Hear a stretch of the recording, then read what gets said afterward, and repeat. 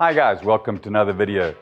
Today we're going to talk about the shooting line in terms of where to attach it to the spear.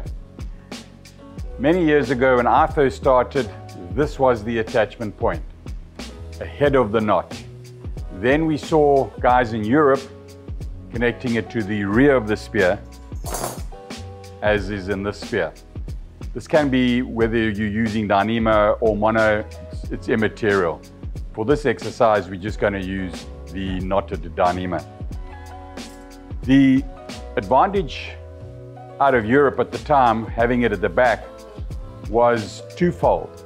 Um, one, if you shoot a fish that runs into the reef, you're much more able to retrieve that spear back and get it untangled. Whereas if that spear goes around a corner and you hauling back, that's going to tee off against a rock. You're going to lose your fish and your spear. So there's a big plus there. In our waters, we have a lot of sharks. The other plus of this is you can retrieve that spear back through the fish. If you happen to fire it right through, the fish then slides down and is stopped by the barb, and a shark comes along and bites your fish, he's going to bite against the spear. You may damage the spear, or you may just rip it off and you get your spear back. Whereas if the fish is teed off in this zone, that shark's going to bite your shooting line. Depending on the conditions, depending on the water, it's very possible that spear dropping away will get lost. So there's pros and cons. There's another chain of thought with the lines being ahead. Some guys like to have a short loop. This keeps it on the top side all the time. The disadvantage of that is when it's going through the muzzle, this knot will be on top, whether it's a knot or a crimp. They'll try and get through the muzzle simultaneously. A crimp can actually damage your muzzle over time. Personally, I used to always prefer it such that it can fold over the back for hydrodynamics. This will make it travel through the water a lot better, even more so with everything trailing behind. Big disadvantage of this is the notches. Fish in a cave can slap around and shear that off.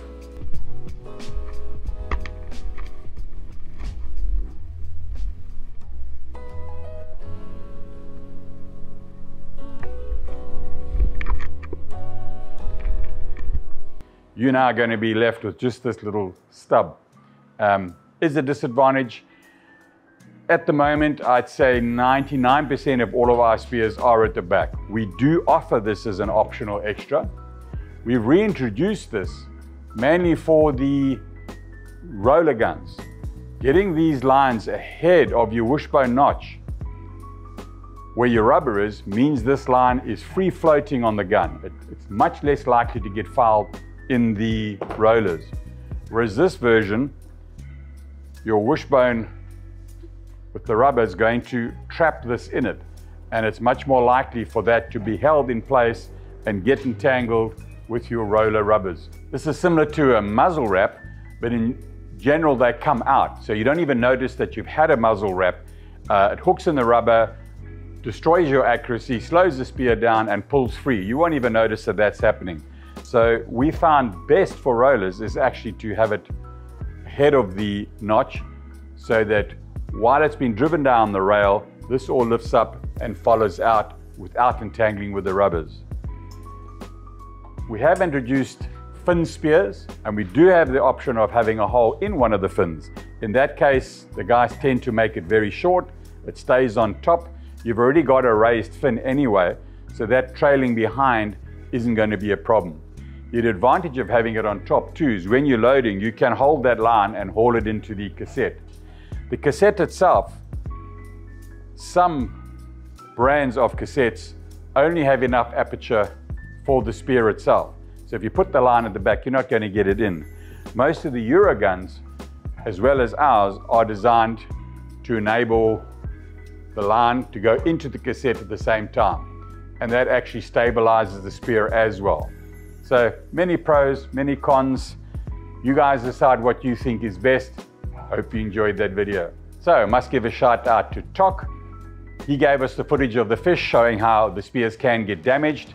Please follow him on his social media. We'll share that link below.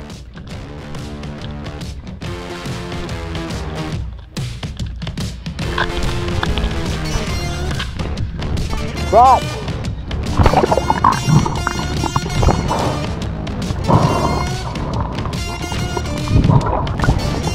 The f*** is on his head? Big fish, eh? What a f*** is that?